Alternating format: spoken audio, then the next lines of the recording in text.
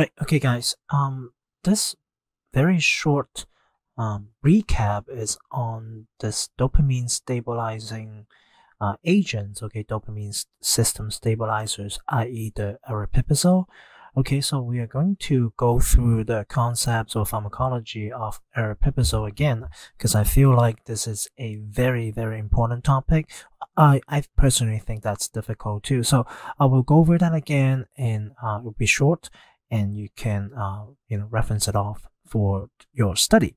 All right. So first of all, here is the pharmacological um, property of aripiprazole in terms of being a, an agonist or antagonist uh, for in different part of the um, the regions of the brain. Okay.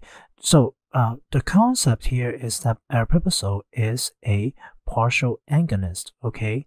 So in the presence okay, in the presence of a agonist, i.e. dopamine, it is weaker. Okay, it is weaker than a dopamine. So when it competes with the uh, a, a stronger ligand, it ended up become a antagonist on this postsynaptic D2 receptors. Okay, so it also antagonize okay 5-HT2A. Okay, but on the other hand, on the presynaptic uh, D2 receptor, it have a weak agonist effect and also a weak agonist effect on 5-HT1A receptors. Alright, now here we look at its uh, pharmacology at each individual uh, pathway. Alright, so be clear with the pathway. So first here we have this mesolimbic pathway where this pathway dopamine is excess. So mesolimbic pathway tied to positive symptoms. Okay, so we want to remove uh, the you know uh, remove the actions of dopamine at those pathways. So uh, first it work as a weak activation, you know, as a agonist on presynaptic uh, D2 autoreceptors, okay, weak activation will still decrease the release of dopamine into the synapse. Right, and postsynaptically, postsynaptic D2 receptors, okay, uh, it block, okay, it acts as an antagonist. All right, here is the, the reasons behind it. Under conditions of high dopaminergic tones, the partial agonist act in, in instead as an antagonist. So be, because you have dopamine there that is stronger, okay, in terms of competing for the same receptor. If a aripiprazole win over those receptor, it will become an antagonist in a sense. All right, so all of these alleviate or helped with the positive symptoms. Right now, looking at the mesocortical pathway, here is the you know tied to what negative symptoms. Okay, negative symptoms where dopamine is deficient. We want some dopamine or dopamine actions in mesocortical pathway. All right, so here, uh, under normal circumstances, here we have this serotonin neuron that is releasing serotonin. What it does, it will inhibit, okay, the release of dopamine. That is not good. We want dopamine here in this case. All right. So first of all, it uh, is a agonist on 5-HT1A receptor. Okay, this plus sign means agonist a G O N I S T or activating this 5-HT1A receptors. Okay, you're activating an autoreceptors on this end. All right, so you will basically decrease, okay, the release of 5-HT or 5 uh, or serotonin, okay? And also this drug aripiprazole also will bind to 5-HT 2A receptors on a dopamine releasing uh, neurons, in this case, act as a antagonist. Antagonist. Okay.